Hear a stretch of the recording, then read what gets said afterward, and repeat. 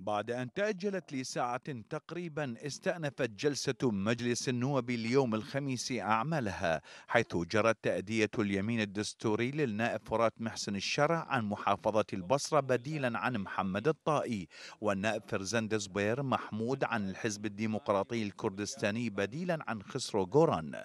كما ووافق رئيس المجلس سليم الجبوري على طلب استقالة النائب طالب الخربيط دون معرفة حيثياتها. كانت هناك آه، قرارات وقوانين مدرجة للتصويت وأيضا تم التصويت آه، على اثنين من البدلاء في أعضاء مجلس النواب العراقي السيد آه، فرات الشرع بديلا عن الدكتور محمد الطائي وأيضا أحد النواب بديلا عن الدكتور خسرو غوران المجلس صوت من حيث المبدأ على مشروع قانون مجلس شورى الدولة بعد استكمال قراءته القراءة الأولى وفك ارتباطه بوزارة العدل وربطه بجهة مستقلة أو رئاسة الجمهورية.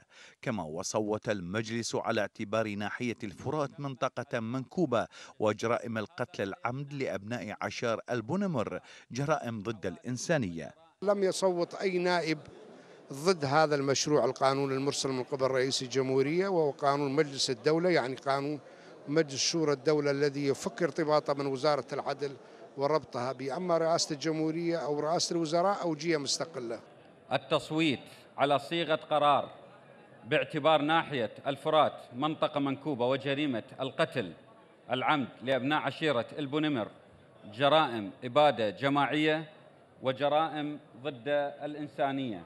أما مقترح قانون التعديل الثاني لقانون المفوضية العليا المستقلة للانتخابات فلم يصوت عليه لأسباب خلافية على ما يبدو ما أثار استهجان بعض النواب لبقاء تدخل الأحزاب وهيمنتها على هذا الملف بوصفهم. أصبح من الواضح أن تأثير الأحزاب الكبيرة المستفيدة من هذه المفوضية بمجلسها آه، مجلس المفوضين آه، أعلنت أنها آه، فعلا لا تريد انتخابات مستقلة وستعمل على أن تكون الانتخابات مسيرة لمصالحها.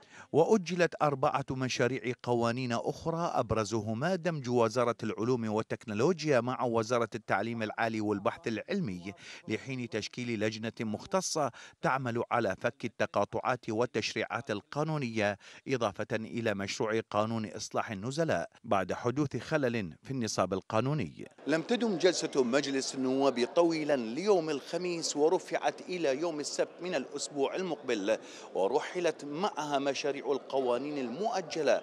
عسى أن يجري التصويت عليها. من داخل مجلس النواب ببغداد زياد نهاد الحرة.